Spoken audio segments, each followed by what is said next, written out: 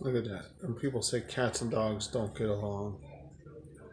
They're cleaning the dishes.